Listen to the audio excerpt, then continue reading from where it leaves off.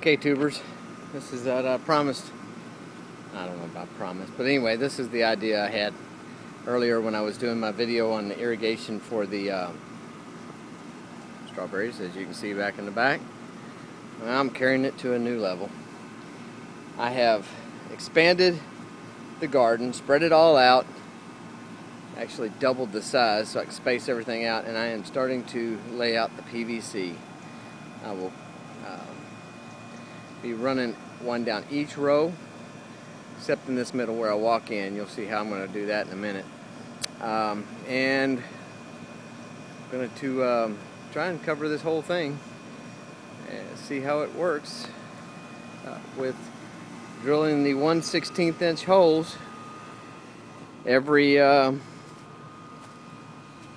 I just kind of space them out and, and put the hole right above where the are, are just to the side of where the um, plant goes into the ground and the root systems are and hopefully uh, this will all drip straight down into these containers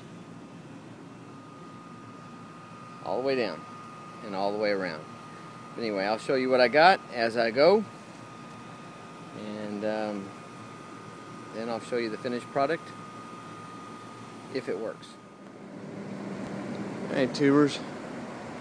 Well, last night it was too dark to show the rest of this, but I did get it all laid out and uh, actually I finished it. Um, got a couple little things I still have to do, so it's not not finished, but uh, it's working. Um, I laid out the, the, all of the pipe, all of that PVC pipe, and uh, as I laid each one across the top of the um, the buckets or the containers, whatever case they may be. I marked them with a, uh, uh, actually I used a dry erase marker to mark the spot where I wanted to drill the hole. And um, uh, after that, I kind of, I used the side, and I'll show you here. Excuse me.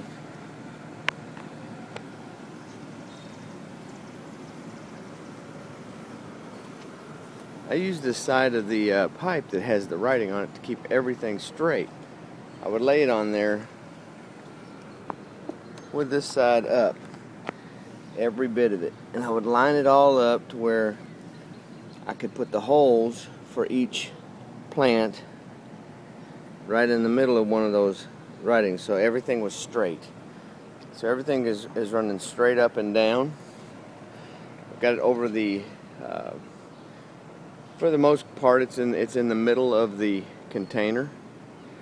Um, I've, I've left myself a little room here in the middle. I didn't put anything in here, uh, but so I could kind of move around. I may put some stuff in here later, but at this point, I just uh, left it open. It's kind of easy. None of this stuff is glued together. I've just snapped it in place and um, and it works. I've got it set to run uh, for two minutes every six hours right now. I may change that. I may tune that down to every 12. It just depends on how wet it gets. We got a lot of rain last night. That's where all this water came from. Uh, but um, we'll see. Try to try to conserve some water. So I'll turn it off for today if we're going to have a lot of rain. But found a few squash bugs. I've been um, killing those and um, I actually just put some um, of that diatomaceous earth or whatever it's called, diatomaceous, diatomaceous, I don't know. Anyway, I put some of that on a few of these plants. It says it kills crawling bugs, so um, I may put some more on here. I've got a yellow squash about ready to pick right there. It's so wet I don't want to get back in there even though I'm, I'm walking on tarps because I'm getting ready to go to work. But um, I'll show you how this thing works a little later on this afternoon. Ah heck, I may go ahead and turn it on and just let you see what it does. There's my buddy. I'm going to have to put something up on the top. Uh, the birds, I've been moving them around, but the birds are eating my strawberries nonetheless. I think they're getting brave. Okay, tubers. Uh, started and stopped, and started and stopped. A couple of these videos, because uh, I ran into a couple problems. I wasn't getting enough water pressure um, around the backside, so I, I've, I've run two entry points into this configuration. I'll show you that just a second. But this is the layout. I have um, sort of a grid worked out. I've, I've, uh, I've, made sure that each area is getting should be getting equal pressure now. So I'll fire that up in just a minute. But I wanted to show you how it was laid out. I got my squash, and then I got peppers and broccoli and cauliflower and watermelons, and then then I start my tomatoes and my get some more. Um, uh, I think that's my blueberries and my blackberry I mean my grapes and I believe my eggplants over there, and I got my uh, cucumbers along that back wall, and then there's all those different varieties of tomato. Um, but anyway, I want to show you what how I, am doing this. On this side, I have an entry, uh, a, a water source coming in, and this is what it looks like. Basically, I just bought a little connector. Um, looks like this. Let's see if I'll take this off. So you'll know what you're looking for. These aren't easy to find. This has just got a little a slip uh, to three quarters and PVC thread. And on the other side, it has the thread for a hose.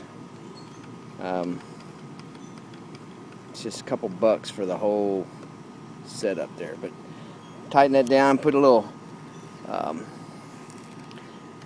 tape, some pipe tape on it, or Flex Tape, whatever. And this um, this turns freely so that you can put your hose up in there and let's try this one-handed it isn't going to be easy I may need to put some tape on that too but see you can kind of just tighten your hose down without twisting your holes all up. Anyway that should be good and tight.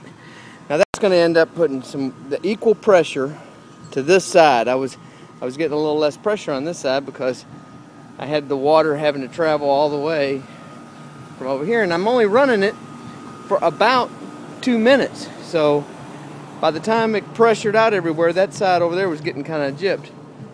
See this is where it did come in and I've got the same the same setup there and I have them both running back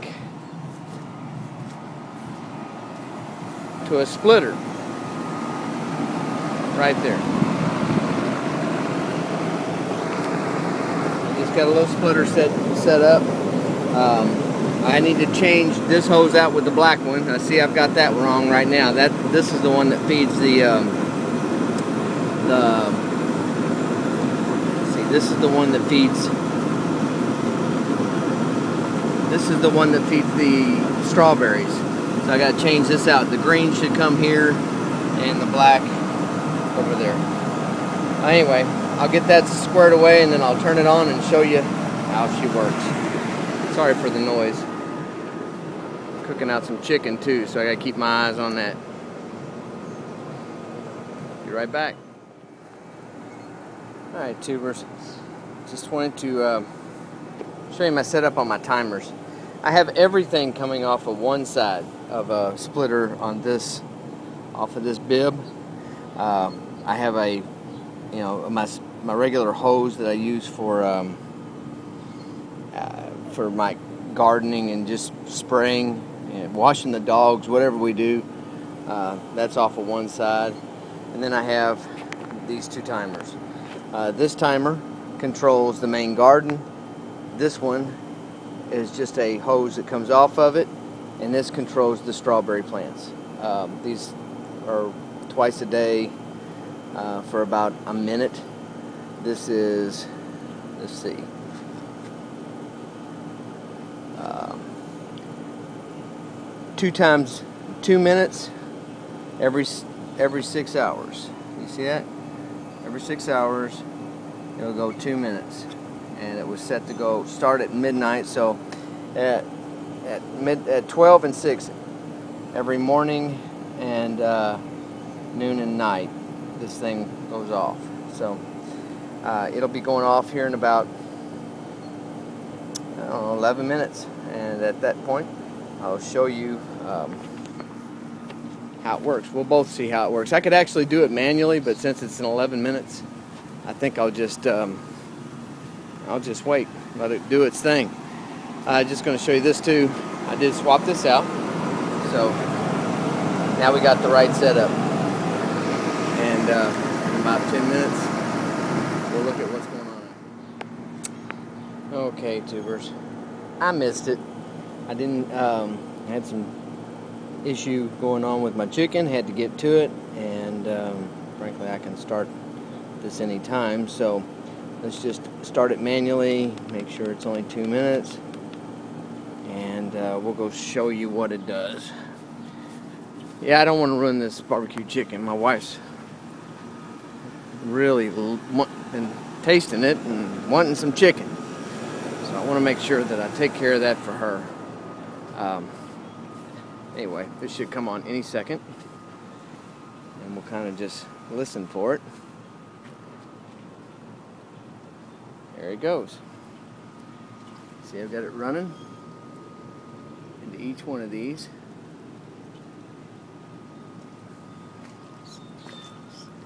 It's a little faster than the other, but it is dripping in every one of them.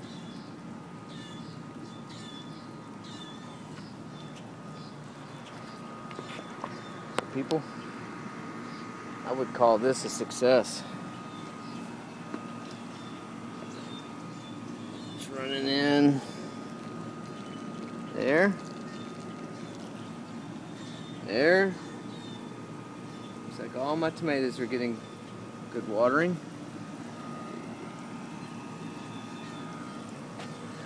He's over here. Yeah, they're starting to turn red Romas are doing amazing job there. Yeah, I'm I'm excited about this.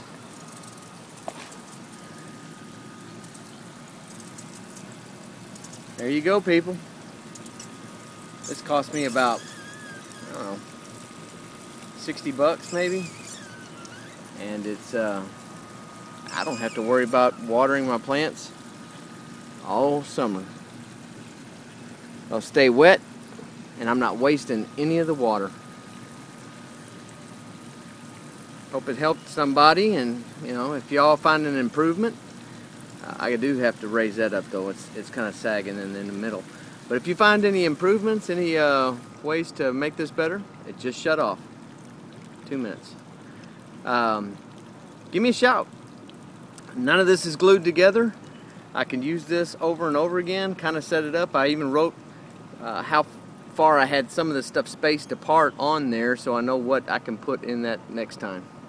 Uh, so anyway, if you got any comments, put them below. Um, let me know what you think. Give me a thumbs up if you like it. God bless. Y'all go play in the wet dirt. That would be mud. God bless.